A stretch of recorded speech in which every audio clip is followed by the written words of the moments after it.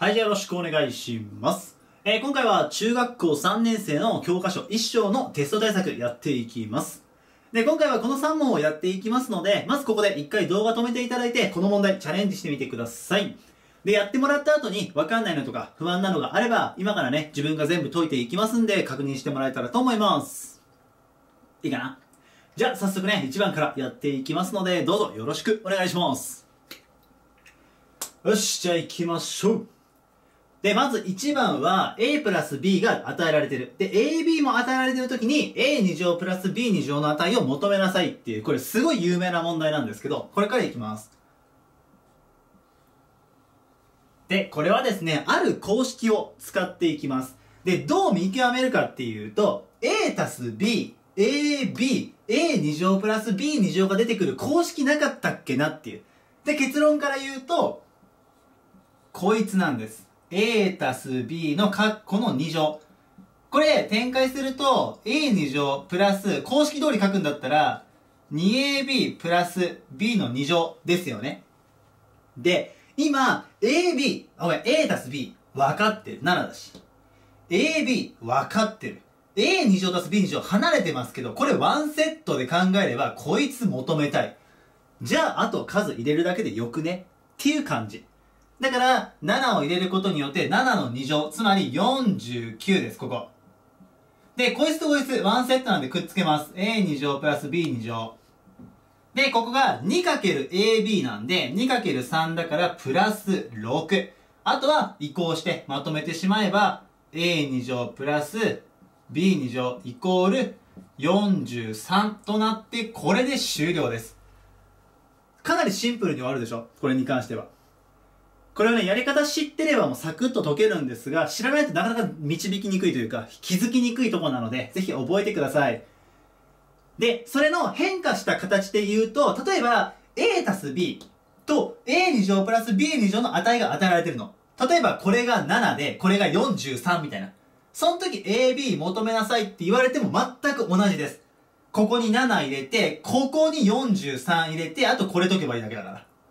同じようにやる。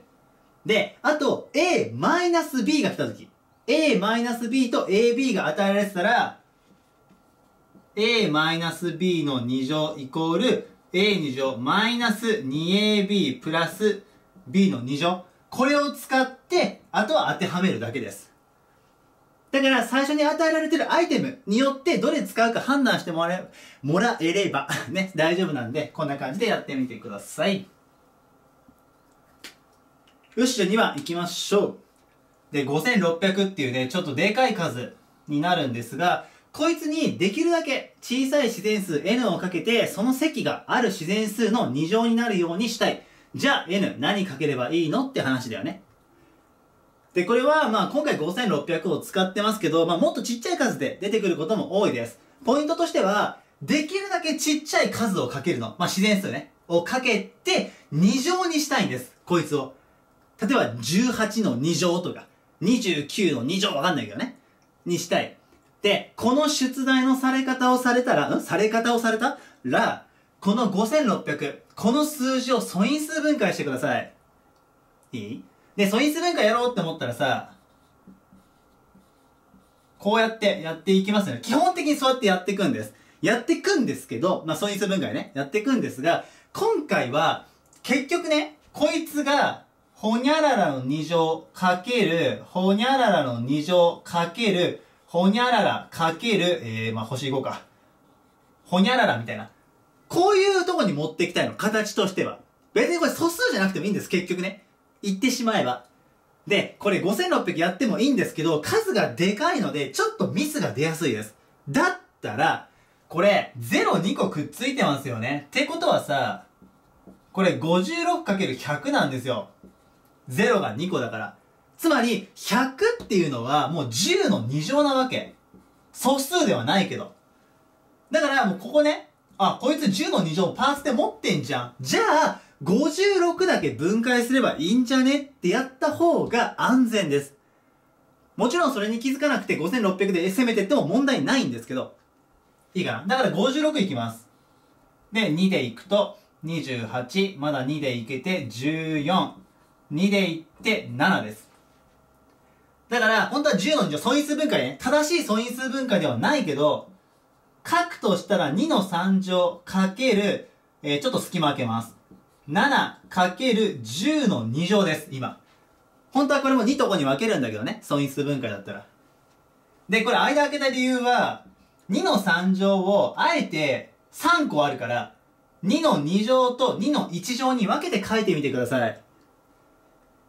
つまり素因数分解ではないんだけど、5600を分解したらこうなったんです。2の2乗かける2かける7かける10の2乗と。で、こっから何をしたいかっていうと、結局、何かをかけます。n をかける。まあ、何かわかんないけどね。そして、こいつのその積が自然数、ある自然数の2乗にしたいんです。じゃあ、どうすればいいかっていうと、2乗がくっついてないこいつら、ここを2乗にしたいの。ちょっと赤で書こうか。2乗にしたい。じゃあ、こいつら2乗にするにはどうすればいいかって言ったら、例えばこいつ、あともう1個2かけてあげればいいよね。そしたら2の2乗になると。7も同じです。あともう1個7かけてあげればいいじゃん。つまり、2と7をこいつにかけてあげれば全部2乗になる。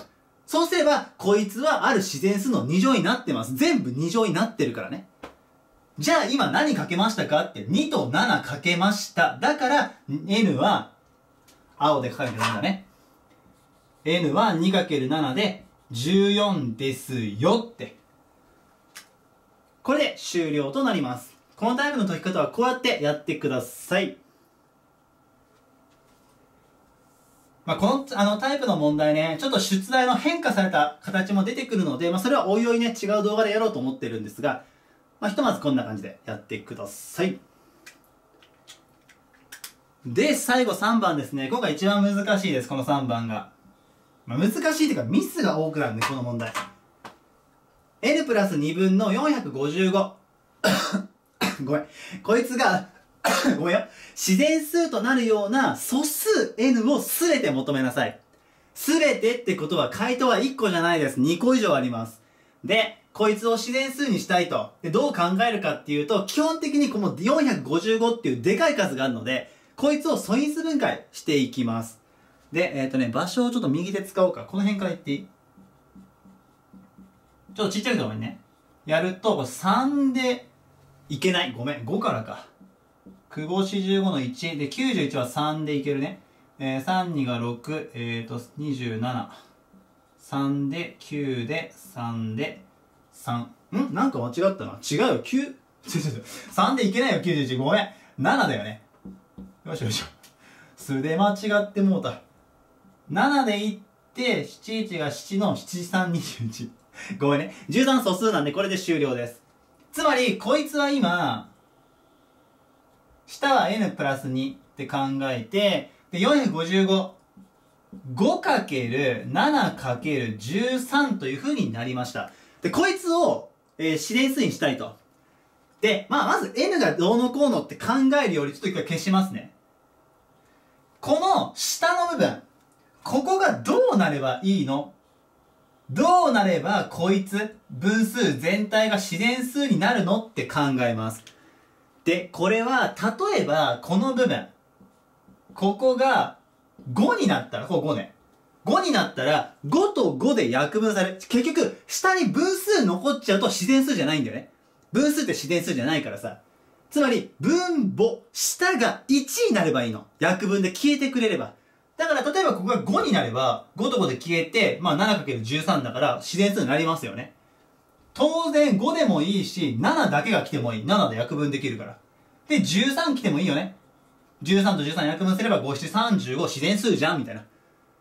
で、ここ結構気づける子は出てくるんですけど、これでストップしてミスみたいなのが出てきます。実はこうじゃなくて、これもいいんですが、あと、下がね、5×7 でもいいわけだよ。5と7が入っても両方約分されて13残るから。で、5と7がいいんだったら、5と13もいいよね、別に。組み合わせを考える。5、7、5、13。あとは7、13だよね。7×13。そして忘れちゃいけないのが全部です。こう。全部が入っても結局全部約分されて1が残るから自然数になってるんで OK なんです。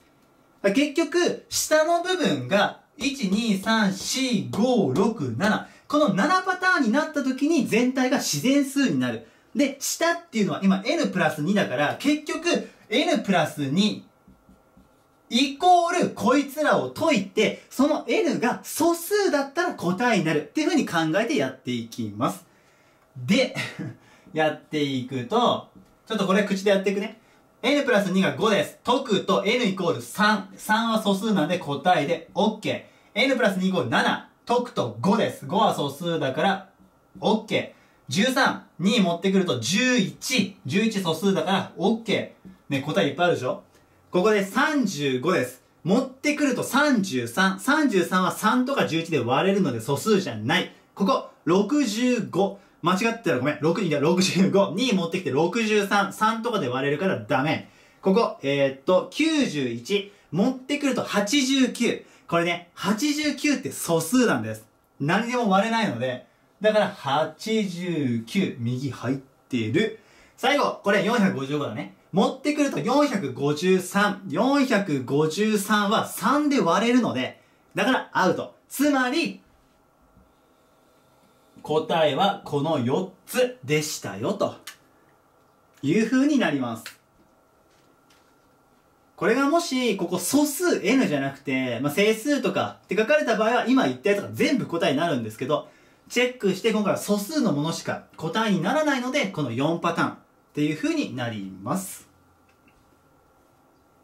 では、今回は、今 今回は中学校3年生の教科書1章のテスト対策やらせていただきました。え今回もね、最後までご視聴いただき本当にありがとうございました。で、引き続きね、まあ、前にもテスト対策取ってますけど、前のとかで次も取っていきますので、もしよかったらそっちの方も見てみてください。では、今回はこれで終わります。以上です。ありがとうございました。